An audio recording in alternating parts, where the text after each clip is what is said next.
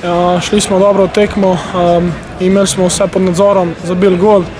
Potem smo dobili eh, prvi gol iz naše napake in potem je šlo vse na robe. Potem smo dobili še enega iz kontra in uh, tako se je končala tudi tekma.